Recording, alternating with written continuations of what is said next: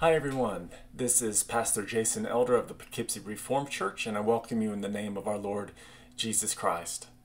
All of our routines are changing during this time. I believe that most of us have had some extra time to think. We've come to new realizations. We've come to realize just how our medical professionals go above and beyond during this time. We realize perhaps how we miss seeing friends and being able to gather for worship in public. That's something I don't take for granted anymore. Maybe some of us have realized how different it is to be working from home. That's my realization. I'm filming this at our home and I decided, you know what? Life is life. So, right now, one of the kids is watching Star Wars, another one is napping, and soon you may hear the dribble and pounding of a basketball. That's our life. That's our life. But we come together in this moment to worship. These are all new realizations. You know, we can have new realizations about God as well. We can come to have new insights about the importance of Christ in our life. When we have those insights, those insights may be called epiphanies. And the theme of our worship today is insight that we can have new insights about God, about ourselves, and our world. I don't know where you are in your life or your faith right now, or what you bring to with you as you participate in worship. But please know you are not alone. We are here, and the Lord meets us even as we meet apart. As we prepare for worship, please take a few moments during this prelude to quiet yourself and to think upon the greatness of God's love for you. No matter who you are, no matter where you are in your life or your faith, God welcomes you. So, friends, let's worship the Lord.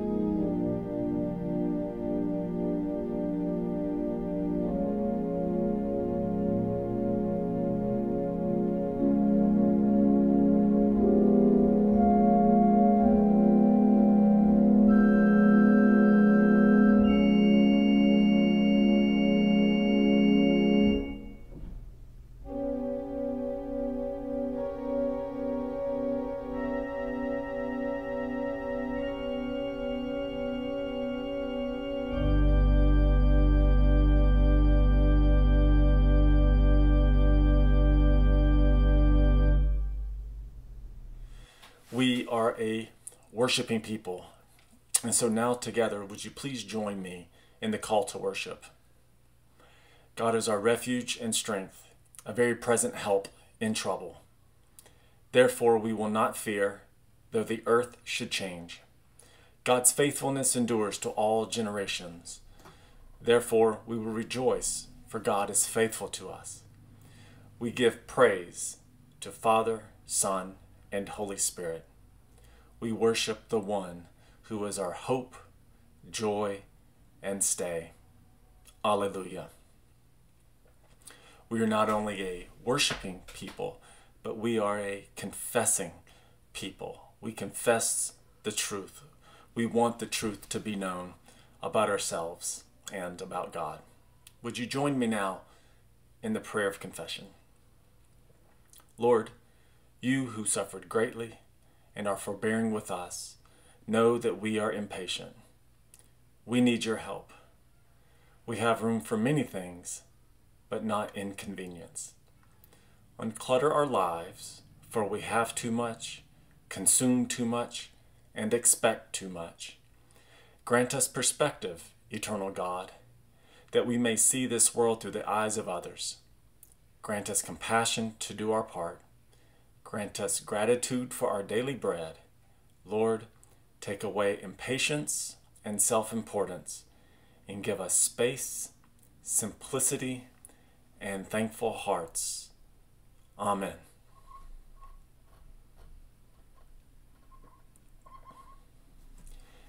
And now, friends, hear this assurance of pardon from Deuteronomy chapter 31. Be strong and courageous. Do not be afraid or terrified because of them, for the Lord your God goes with you. God will never leave you nor forsake you. Friends, this is the good news. Thanks be to God. The peace of Christ is with you and also with you. Let's now turn our attention to the reading of God's Word. Today's scripture lesson is from Isaiah chapter 6, verses 1 through 8. In the year that King Uzziah died, I saw the Lord sitting on a throne high and lofty, and the hem of his robe filled the temple. Seraphs were in attendance above him. Each had six wings. With two they covered their faces, and with two they covered their feet, and with two they flew. And one called to another and said, Holy, holy, holy is the Lord of hosts. The whole earth is full of his glory. The pivots on the thresholds shook at the voices of those who called, and the house filled with smoke. And I said, Woe is me! I am lost, for I am a man of unclean lips, and I live among a people of unclean lips. Yet my eyes have seen the King, the Lord of hosts. Then one of the seraphs flew to me holding a live coal that had been taken from the altar with a pair of tongs. The seraph touched my mouth with it and said, Now that this has touched your lips, your guilt has departed, and your sin is blotted out. Then I heard the voice of the Lord saying, Whom shall I send? And who will go for us? And I said, Here am I, send me we have heard the word of the Lord. Thanks be to God.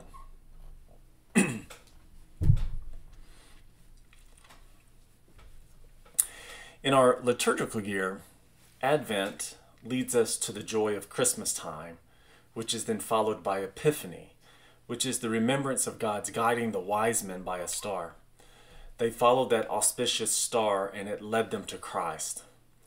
Uh, the worthiness and the goodness of Christ. And then there, sharing their story with others was the Epiphany. Understand this.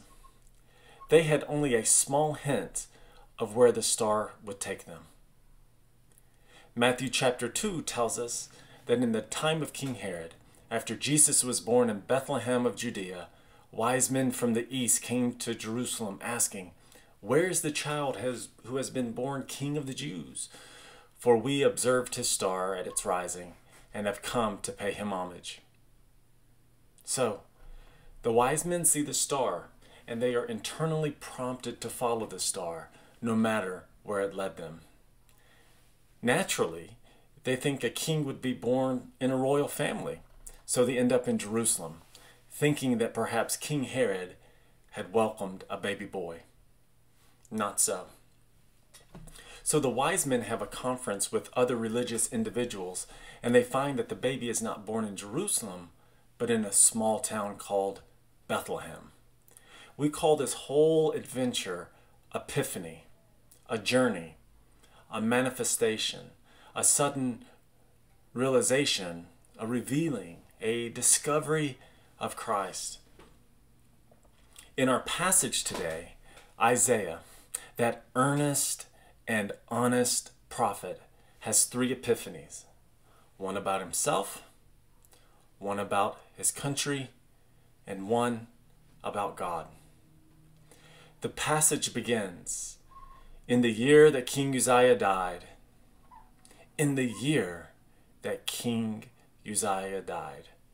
Uzziah was not perfect, but he was a good king who provided stability and growth and security for the country. Uzziah was the only king Isaiah had ever known. To say, in the year that King Uzziah died, is saying, in a year when we faced something we had never faced before. In the year that everything changed, I had an epiphany. Yes, in the year that there was no one sitting on the throne for the first time in 52 years, I had a revelation. My epiphany was that God was still seated on God's throne. The throne in Jerusalem was vacated, but not the throne in heaven. We are waking up right now to something that we will always remember. In under 90 days, everything has changed. We will look back and say, Remember 2020? In the year of COVID 19? Remember the quarantines? Remember that school was out for so long? Remember the confusion? Remember how that was the most we ever watched the news? We need reminding of something right now. we need to remind ourselves that God is not hiding in a corner somewhere, scared, unable to cope with the situation. God is active right now in our community. God is empowering us. God is giving us the patience we need. God is giving us the intellect to tackle this situation around the earth. God, right now, is holding the hands of the scared. God is steadying the hands of the medical professionals. God is opening hearts with empathy as we Americans now know what it's like to face life and death circumstances and to be concerned for the welfare of our families and our friends we now have the ability to understand the perspective of migrants and immigrants and all the vulnerable people who are always with us. It's just now we've become one of the vulnerable. That is an epiphany. And it's an epiphany we need human frailty and divine steadfastness. Isaiah's vision is large. A holiness he had never imagined, and a lowliness of spirit he had never experienced. He cries, Woe is me. And then he looks at the vulnerability of the nation he loves, and he said, Woe is us. Yet, that epiphany is only the beginning. It's helpful to have an insight, but just having an insight is not the point. The point is, what are you going to do with the information? If you see yourself as vulnerable and need of God's help and grace, then what are you going to do with that knowledge? Are you going to take action? And so Isaiah says that he hears God asking the question Who will go into this beautiful and broken world and serve and be a helper? Isaiah, because his eyes are opened to the generosity and the power of God that meets us in our moment of panic and anxiety and wonderings, says, Send me. Since God has shown good to me, I choose to show goodness to others. This life changing, nation altering event that Isaiah went through informed him.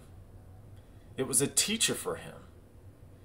And it led him to live a life of service, devotion, and worship. Isaiah only knew King Uzziah for 52 years. But before his death, Isaiah would see three more kings. He lived in a time of instability and constant concern. And yet, Isaiah shows us that God can empower us to be a faithful, caring, truthful, empathetic presence in the life of our community, no matter what. I want to ask you a question. What kind of epiphanies have you had over the past month? Let me ask you another one. How can you care for others during this time? You know, eventually, as our world and our community begins to heal and rebound, we will need people to step up and to serve. People will need clothes and food and shelter. Is there an organization that you could partner with? I've been thinking this week about how our church will play a role in creatively meeting the needs of others.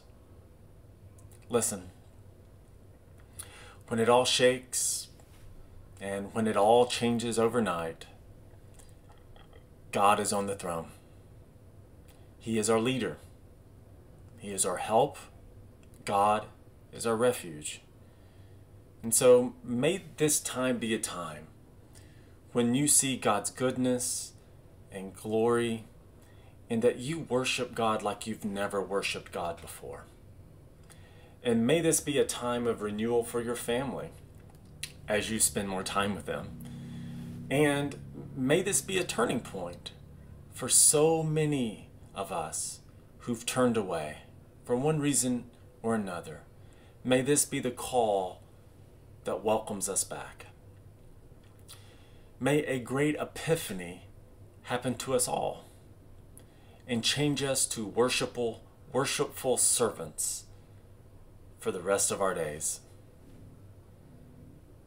This is the word of the Lord. So we give thanks to God. Amen.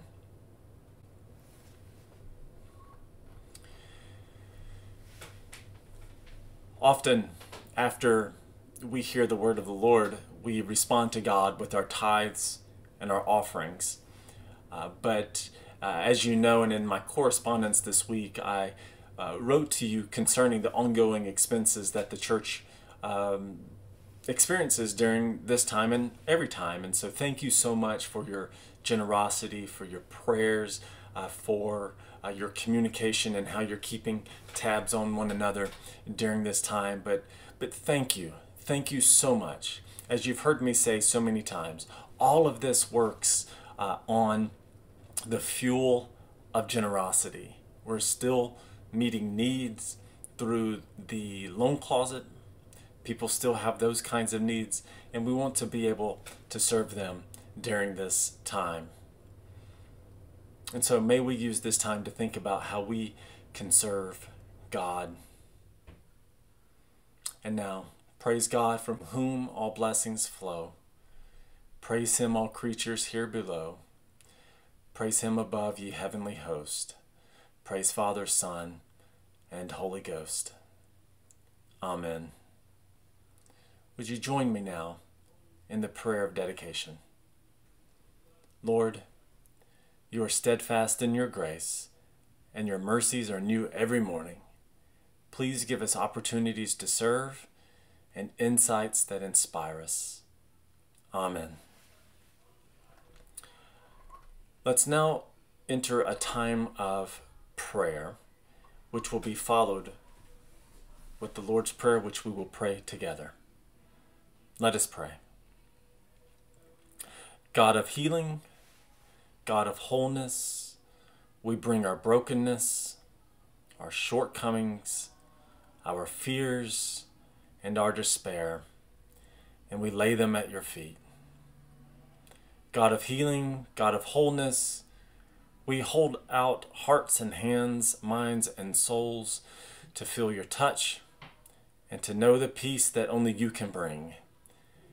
And God of healing, God of wholeness, this precious moment in your presence and power, grant us faith and confidence that here broken lives, by your grace, are made whole. We pray for our nation and for our leaders who are making very difficult decisions. We pray that you would guide them with their wisdom, that they may act swiftly and decisively, and that you would help us all uh, to pray and to serve where we are able, Lord. We thank you for our church family and for our friends, and for a faith that guides us into eternal hope. And so, God, we look to you as you are on your throne, and we ask for your help. And we make our prayer in the name of our Lord Jesus Christ, who taught us to pray Our Father, who art in heaven, hallowed be thy name. Thy kingdom come, thy will be done, on earth as it is in heaven.